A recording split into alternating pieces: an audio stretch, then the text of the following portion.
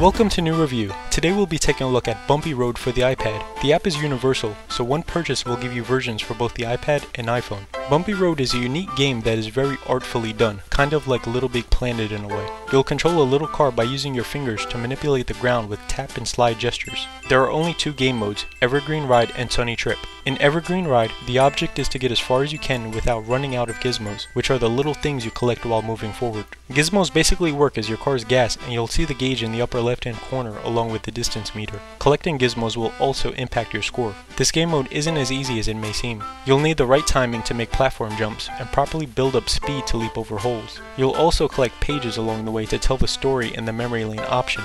In the Sunday Trip mode, there are no holes to fall in. The object is to reach the end as fast as you can. There will be turbo boosts along the way to make you briefly go faster, and clocks to collect to bring down your final time once you reach the end. But still, you can only go as fast as the screen will scroll, so it really just boils down to collecting turbos and clocks. It should also be noted that the levels change each time you play.